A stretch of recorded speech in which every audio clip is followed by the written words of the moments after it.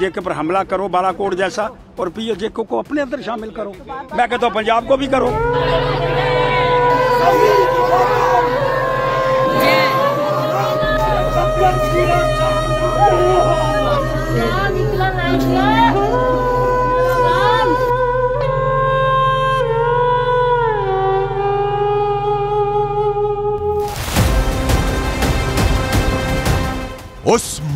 की सरहद को कोई छू नहीं सकता।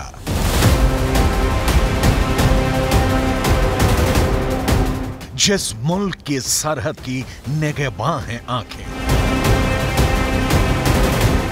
ये आँखें भारत की महान सेना के, महान सेना नायकों की आँखें।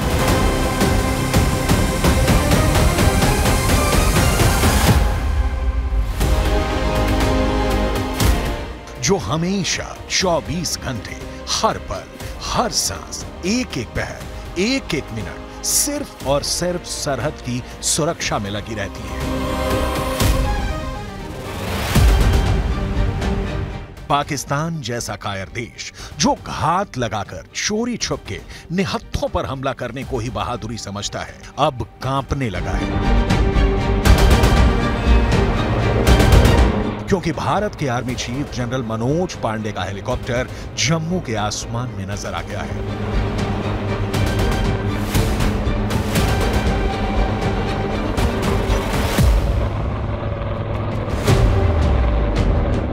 इधर बॉर्डर पर मनोज पांडे मौजूद थे। उधर पाकिस्तान की बेचैनी बढ़ती जा रही थी। आतंकियों के आखाओं के पैरों तले ज़मीन खिसक रही थी। प्लान तैयार हो रहा है। अहम निर्देश दिए जा रहे हैं। आर्मी चीफ ने एक एक चुनौती का खुद से निरीक्षण किया है। थल सेना अध्यक्ष ने ऊधमपुर में सेना के नॉर्दर्न कमांड का दौरा किया। सेना के कमांडरों और कोर कमांडरों के साथ बैठक की और घाटी में मौजूदा हालात का पूरा जायजा लिया। साथ ही पुंछ, राजौरी ऑपरेशन की जानकारी भी ली। जनरल मनोज पांडे ने देश के जवानों को और भारतीय सेना के अहम अधिकारियों को यह बड़ा संदेश दिया है कि कश्मीर में शांति रहनी चाहिए। कश्मीर में अशांति फैलाने के दुश्मन के किसी भी कदम को मुँह तोड़ जवाब दिया जाना चाहिए। पुंछ के डेरा की गली में हुए बड़े आतंकी हमले में चार जवान शहीद हो गए। उसके बाद देश के सेना प्रमुख जनरल मनोज पांडे ने जम्मू में दौरा किया। उसके बाद वो पुंछ राजौरी गए और वहाँ पर उन्होंने उच्च स्तरीय बैठक की। इस बैठक में उनके साथ आर्मी कमांडर भी मौजूद थे। उनके साथ उन्होंने इन आतंकवादी गतिविधियों पर बातचीत की, जिसके बाद वो राजौरी के डिव हेडक्वार्टर में बैठ गए और वहाँ पर अधिकारियों से भी मुलाकात की। आपको बता दें कि पुंछ में हुए इस आतंकी हमले के बाद जनरल मनोज पांडे का ये पहला दौरा था। इस दौरे के बाद ये भी कहा जा रहा है कि उन्होंने आतंकवादी गतिविधियों पर बेहद महत्वपूर्ण चर्चा की, जिसके बाद ये भी कहा जा रहा है कि जम्मू राजौरी पुंछ जितने भी इलाके हैं, वहाँ पर सिक्योरिटी सुरक्षा बलों की जो टुकड़ियाँ हैं, उनको बढ़ा दिया गया है और सर्च ऑपरेशन को भी तेज कर दिया गया है। हम आपको बताएँगे कि कैसे पूरा देश भारत के उन महान वीरों को श्रद्धा सुमन अर्पित कर रहा है, जो पुंछ के हमले में वीर गति को प्राप्त हुए हैं। हम आपको ये भी बताएँगे कि कैसे ड्रोन से साजिश करके आतंकियों के लिए पाकिस्तान कैश, हथियार और बम बारूद मुहैया करवा रहा है।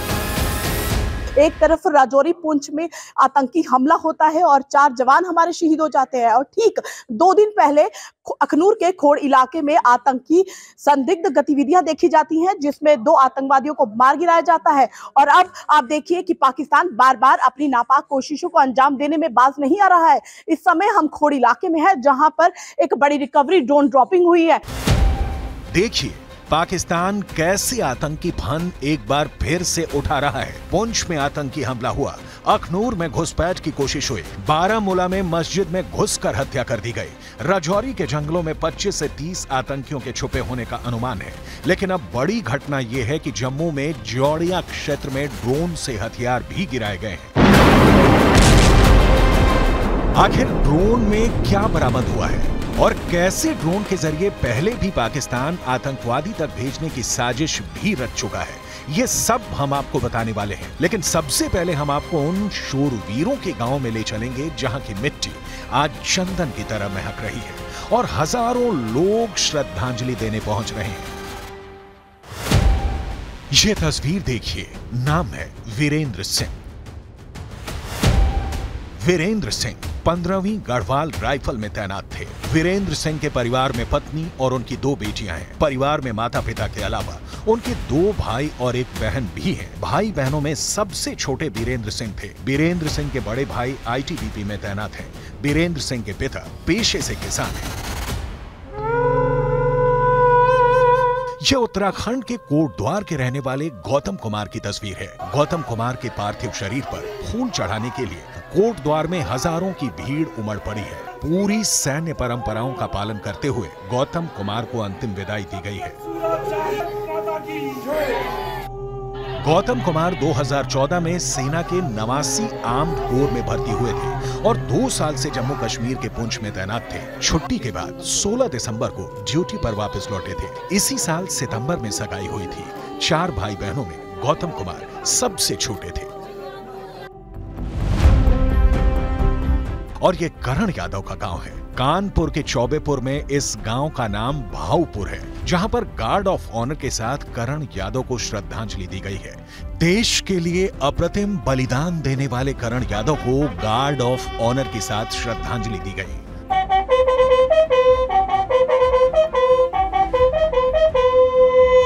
पूरे कानपुर वासी अपने लाडले अपने बेटे को जिसने देश के लिए शहादत दी उसको अंतिम विदाई देने के लिए पहुँचे हुए हैं। यहाँ पर हज़ारों की तादाद में भीड़ है यहाँ पर।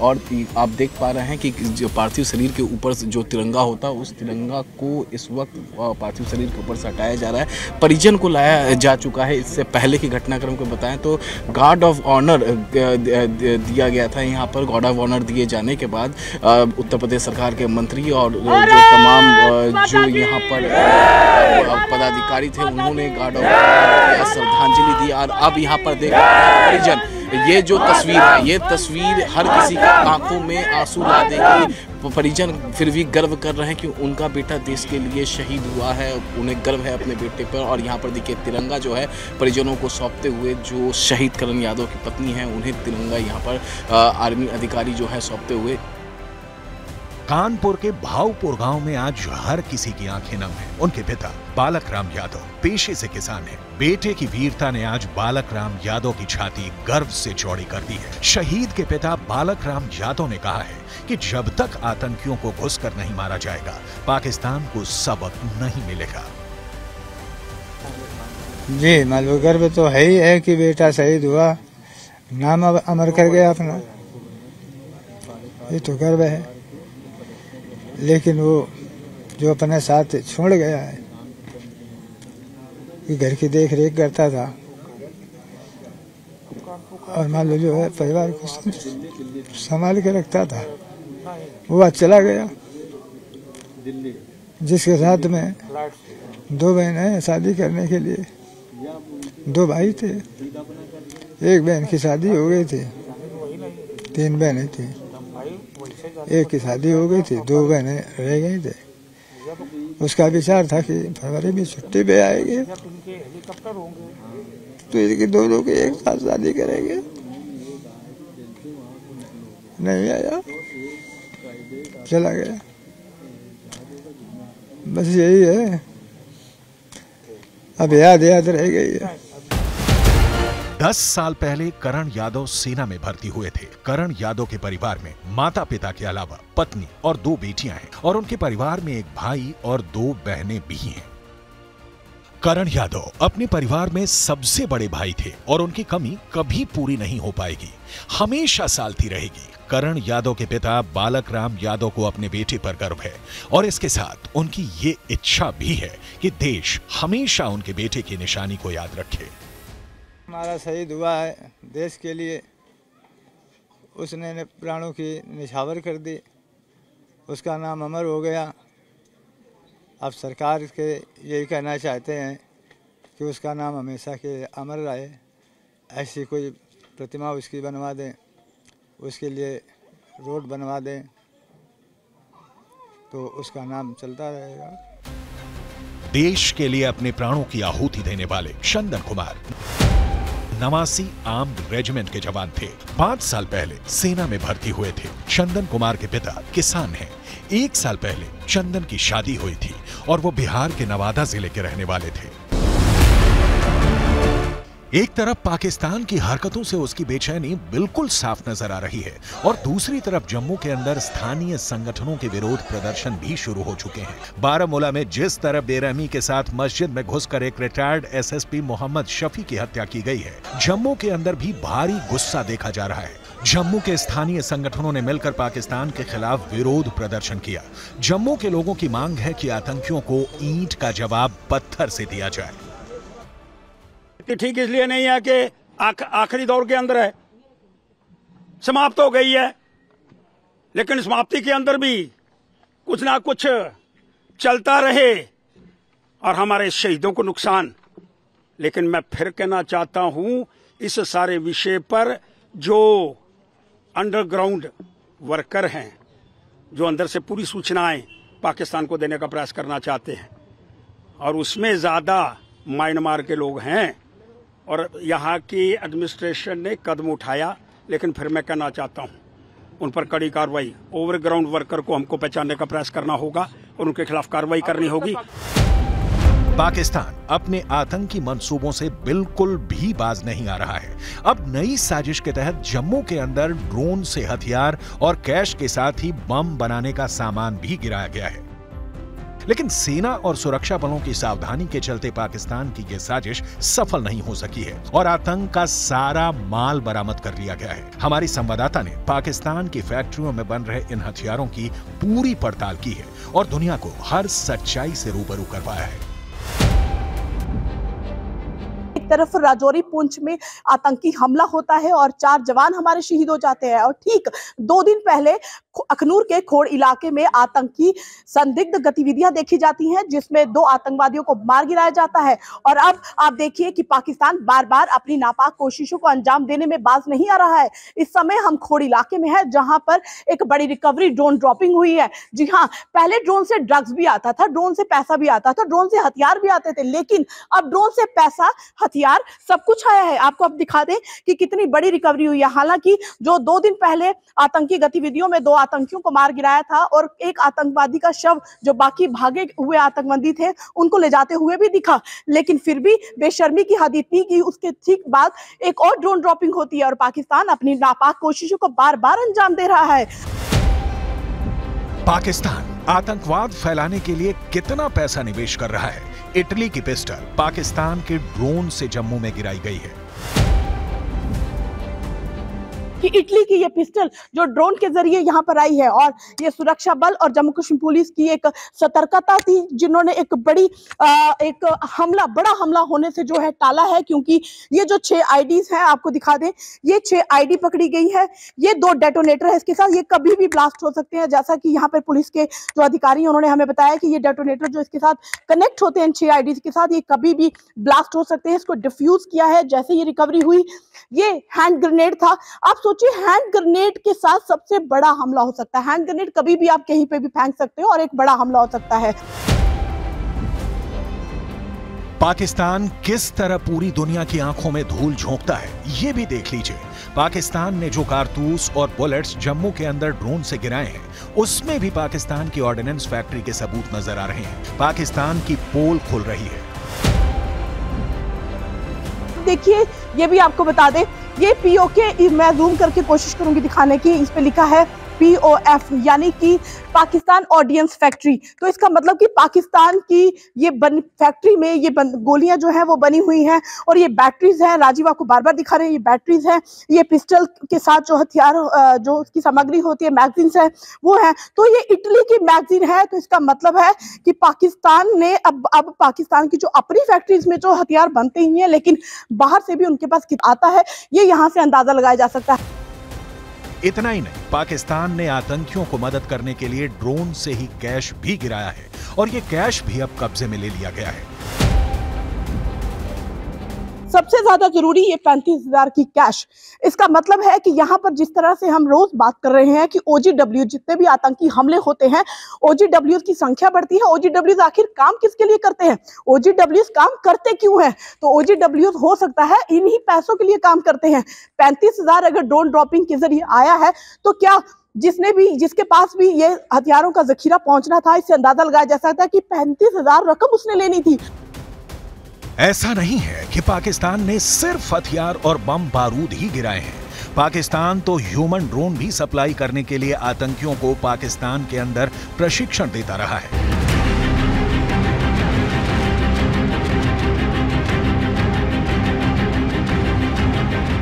एक ड्रोन आया। ड्रोन से अचानक एक इंसान बाहर आया। इंसान नदी में कूद गया और कुछ लोग उसकी तरफ़ दौड़े। ये वीडियो हमारे पास एक्सक्लूसिव है। और ये कोई साधारण वीडियो नहीं है। ये वो वीडियो है जिसकी छानबीन अब देश की ही नहीं, दुनिया की कई बड़ी खुफिया एजेंसियाँ करने वाली हैं। क्योंकि ये आतंकवाद का एक नया मॉड्यूल है, जिसमें ड्रोन से आतंकवादी की सप्लाई का नया फॉर्मूला निकाला गया है। ये पाकिस्तान के खूंखार आतंकवादी संगठन लश्कर तैयबा के प्रशिक्षण केंद्र की तस्वीरें हैं। ड्रोन से कूदता हुआ जो शख्स आपको नज़र आ रहा है, उसे एक आतंकवादी बताया जा रहा है। जम्मू कश्मीर से लगने वाली पाकिस्तान की सीमा पर अब बहुत ज़बरदस्त बाड़बंदी की जा चुकी है। ज़्यादातर इलाकों से घुसपैठ के बचाव के लिए अत्याधुनिक सर्विलांस सिस्टम को लगाया जा चुका है। अब परिंदा भी भारत पाकिस्तान सीमा पर पर नहीं मार सकता। ऐसे में ड्रोन का इस्तेमाल किया जा रहा है। हालाँकि फिर भी पाकिस्तान के इस तरह के हथकंडों से निपटने की पूरी ट्रेनिंग भारत के सुरक्षा बलों के पास है। भारत की सेना ड्रोन हमले से निपटने के लिए लंबे समय से जवानों को ट्रेनिंग दे रही है। भारत के पास भी इस तरह के हथकंडों से निपटने के पूरे इंतज़ाम हैं। ड्रोन की आवाज़ सुनकर अलर्ट करने वाली डॉग स्क्वाड भारत ने तैयार की है। ये डॉग स्क्वाड ड्रोन की आवाज़ सुनकर ही अलर्ट हो जाती है और भौंकना शुरू कर देते हैं। ये इंसान से पहले ही खतरे को भांप लेने में सक्षम है। ठीक इसी तरह भारत के सुरक्षा बल ऐसी चीलों को भी ट्रेंड कर चुके हैं, जो आसमान में ड्रोन का पता लगाकर उनको नीचे गिराने में मदद कर सकती हैं। भारत की सेना ने ड्रोन्स को गिराने में मदद के लिए चीलों को ट्रेंड किया है। इस तरह की चीलों को अर्जुन कहा जाता है। उत्तराखंड के औली में जब अमेरिका और भारत के बीच युद्ध का अभ्यास हुआ था, तब ड्रोन का शिकार करने के लिए पहली बार चीलों का इस्तेमाल किया गया। पिछले दो सालों से जम्मू कश्मीर और पंजाब की सीमा पर ड्रोन के ज़रिए पाकिस्तानी घुसपैठ की घटनाएँ बढ़ चुकी हैं। बीएसएफ के द्वारा दिए गए आंकड़ों के ही मुताबिक साल 2020 में बीएसएफ ने सीमा पर उन्यासी ड्रोन घुसपैठ की घटनाओं को दर्ज किया था। साल 2021 में ये घटनाएँ बढ़कर 109 हो गईं, लेकिन साल 2022 में 200 से ज़्यादा ड्रोन घुसपैठ के मामले सामने आ चुके हैं। पंजाब से सटी सीमा पर 215 ड्रोन घुसपैठ के मामले सामने आए हैं और जम्मू कश्मीर में 2022 में ड्रोन घुसपैठ के 22 मामले दर्ज किए गए थे। जम्मू कश्मीर से लगने वाली पाकिस्तान की सीमा पर अब बहुत ज़बरदस्त बाड़बंदी की जा चुकी है। ज़्यादातर इलाकों से घुसपैठ के बचाव के लिए अत्याधुनिक सर्विलांस सिस्टम को लगाया जा चुका है। अब परिंदा भी भारत पाकिस्तान सीमा पर पर नहीं मार सकता। ऐसे में ड्रोन का इस्तेमाल किया जा रहा है। यानी अगर लश्कर तैयबा ये सोच रहा है कि वो रात में आतंकियों को ड्रोन से उतारने की ट्रेनिंग दे रहा है तो उसे इस खबर के बारे में ज़रूर पता होना चाहिए, जिसमें बीएसएफ की महिला जवानों ने ही पाकिस्तान के ड्रोन को मार गिराया था।